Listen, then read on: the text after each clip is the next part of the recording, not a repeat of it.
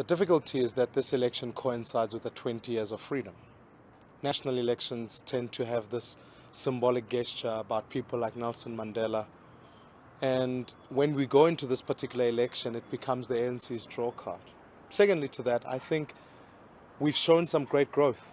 We've shown the fact that we've taken the DA from about 16% now to enter into a space where really one in four people are voting for the DA and potentially will be doing so coming in the next elections. There's also been these one-hit wonder parties, I call them, uh, the Economic Freedom Front coming on board and in fact uh, creating a populist uh, election mantra and certainly drawing away votes. So we felt their effect on our election, but we equally so are very buoyant about the process we've taken and the provinces that we've been able to engage in.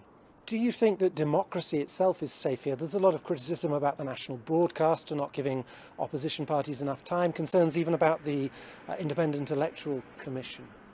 There are broad trends that the ANC as the incumbents are starting now to use the same practices as we've seen in other African states, more specifically even in Zimbabwe, where in fact there's a co-option of state institutions. We started off with seeing the army, the army's resources being used even in advertising. We saw the social security uh, agencies taking social grants and blankets to people.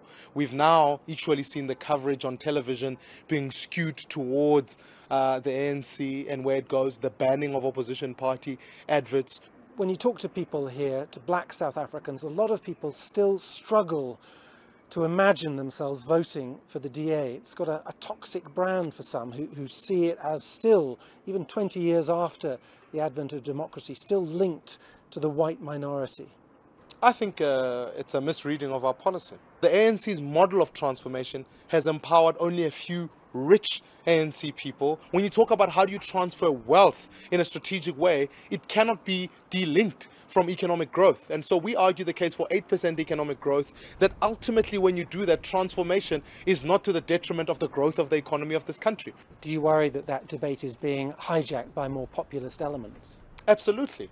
And I think even the economic freedom fighters' uh, own populist rhetoric is impracticable. First of all, nationalization has been proven here in Africa to not work. The state agencies that we have here in South Africa don't deliver the outcomes that we require. You start with the South African Airways and you move to other state agencies, you start to discover that governments should not be engaged in running uh, entities like airlines, etc. And yet the EFF wants to now suddenly nationalize the mines and cripple this particular economy. So that populism, that idea that we are now going to double everyone's social grants is in fact an insult to South Africa.